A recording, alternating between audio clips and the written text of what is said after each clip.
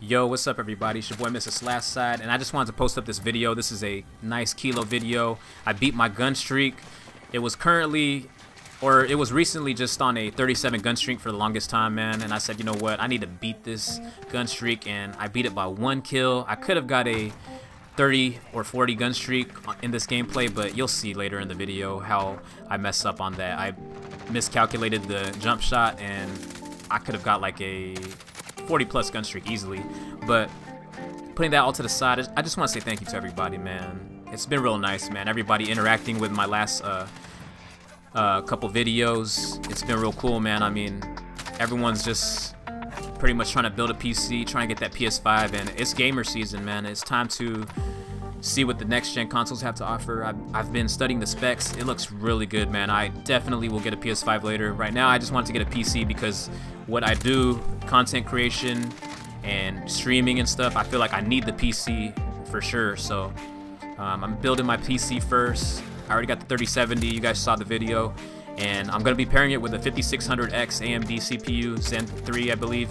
And I can't get the 5600X yet, so I'm going to be a little bit patient. I won't probably get this build done until December, maybe late late November. And yeah, man, lately I've just been in research mode, just pretty much going on Reddit, um, watching a lot of YouTube videos, interacting with the comments, and you know, anything you do, you gotta research, you know, because if you don't research, how are you gonna know? A lot of you guys uh, probably don't know, but I, my first build was in 2006.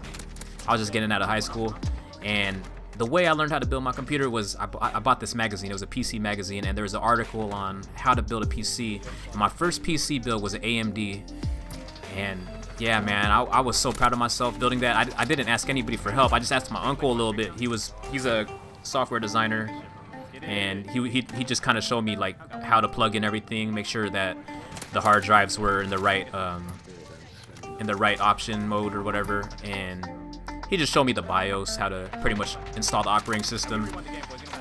And yeah, man, ever since then, I said, you know what, this is dope, man. So I was doing music production. Oh yeah, I do music production too, so I'm, that's why I'm building a PC. So I built that computer for music production, super fast, overclocked it.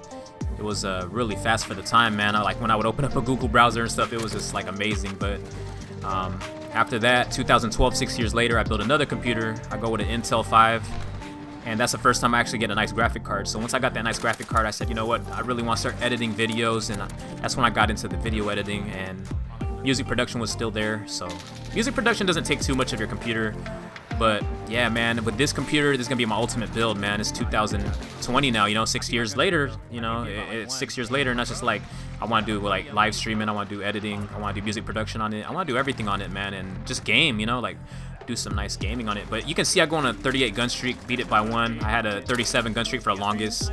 And I just want to say some things. I want to say farewell to Modern Warfare. Modern Warfare was an underrated COD. A lot of people didn't like it. And the reason for that is because skill-based matchmaking and the time to kill. And obviously the maps being so catered to um, campers. But this game had a bright spot. Um, this is the game that pretty much got me into Z, uh, ZAOD clan, Torva, Redman Lions, and them. And Warzone, man, Warzone revived COD. COD was on life support, and yeah, man, Warzone is here to stay for another like two years, three years until they make Warzone 2. So, yeah, man, it, it was a great COD to me, man. I mean, but I'm ready for Cold War, y'all. So, peace.